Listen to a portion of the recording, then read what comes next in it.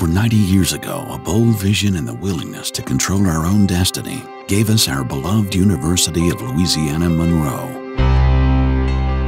ULM exists today because business owners, local school leaders, and hardworking citizens came together to build something special by educating their children. It was with this decision that Ouachita Parish Junior College was established, and subsequently the University of Louisiana Monroe stands proudly today, a decision that would go on to change hundreds of thousands of lives.